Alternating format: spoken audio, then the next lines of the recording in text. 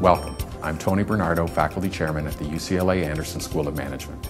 At UCLA Anderson, we foster a culture of innovation and creativity that allows us to rank among the top management schools in the world in the creation of intellectual capital. Not only do our world-renowned faculty bring their own ideas into the classroom, but they also critically evaluate new ideas and developments in management from around the world. Now, please meet some of our distinguished faculty. Uh, one of the things that I have been very interested in the last few uh, years is how to value research and development investments. How can a pharmaceutical company decide when is the right moment to invest hundreds of millions in dollars in develop a new uh, drug? Uh, that's a very difficult investment problem because there are a lot of uncertainties.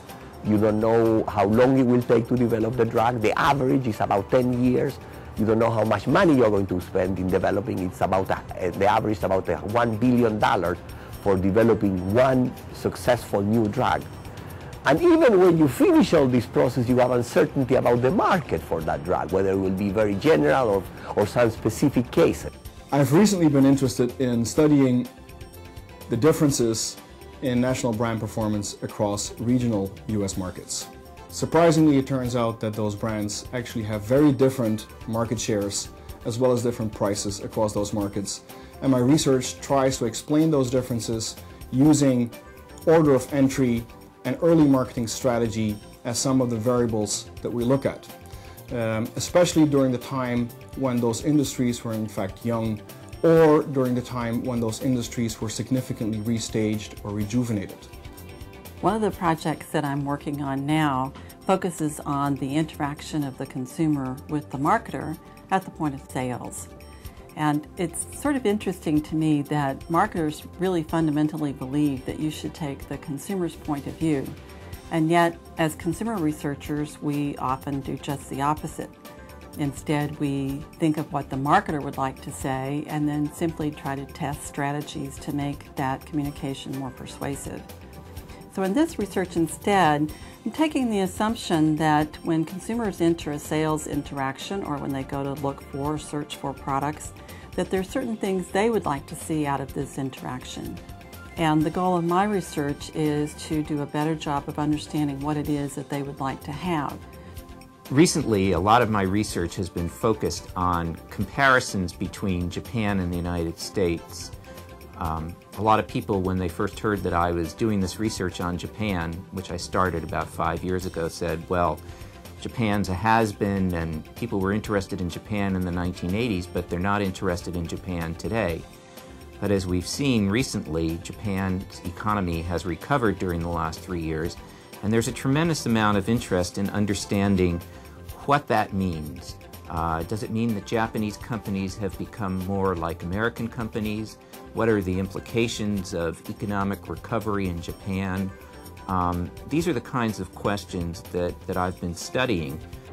My most recent research on um, brand extension evaluations by children is showing that kids are affected by surface cues such as the brand name and even, even if there's nothing meaningful in the name itself.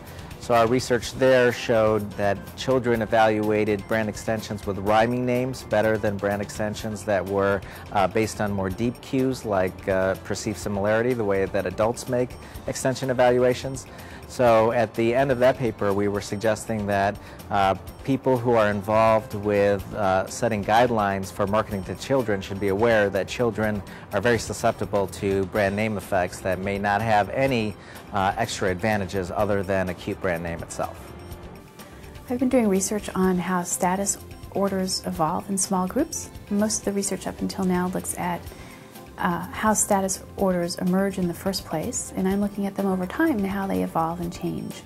Um, I, most of my research is on negotiation and conflict in groups and organization, and so I'm looking at uh, instances where people are having conflicts and negotiations over their status, not over just transactions or specific decisions.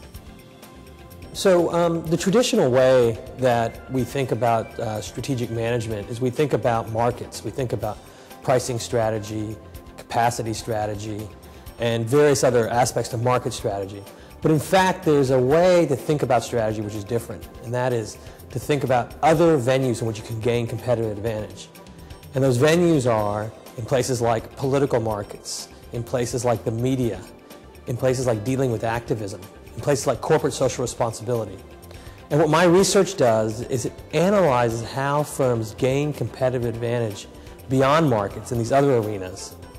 And what it does is it tries to integrate the traditional elements of market strategy with these non-market elements in order to really take the firm to a different level of competitive advantage.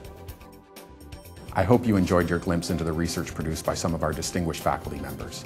Our thought leadership influences academia, policymaking, and the global business community. UCLA Anderson students not only benefit from learning state-of-the-art concepts, but they also develop new ways of reasoning that will help them achieve long-term success. Thank you for joining us.